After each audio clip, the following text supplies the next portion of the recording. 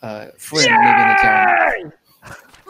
我们很重要的一关啊，很重要的一关啊，今天其中一个啊，这个是我们告 UBS 这个官司啊，UBS 这个官司在伦敦正式立案了啊，这对我们来讲很大的很大。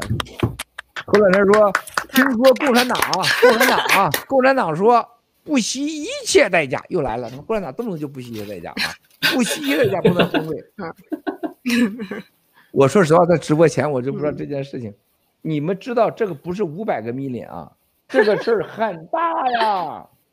呃，UBS 咱给他干掉，咱把 UBS 拿下，拿下共产党的半个财富帝国，半个吧。UBS 是唯一的啊，大家要记住啊，是唯一的一个被中国共产党建国以来批准的海外的外国银行，有外国独立经营牌照的啊。大家一定要记住，它它这个意义太大了，太大了，太大了。我我跟你说，国民党当年还有台湾，在 UBS 之前是当时是一分都没有给的。